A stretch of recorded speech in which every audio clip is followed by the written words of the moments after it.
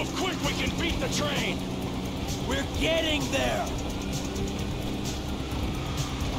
Cops! Oh, better yet, maybe Tanisha will call your dog ass if she ever stop fucking with that brain surgeon, the lawyer she fucking with. Nigga. What?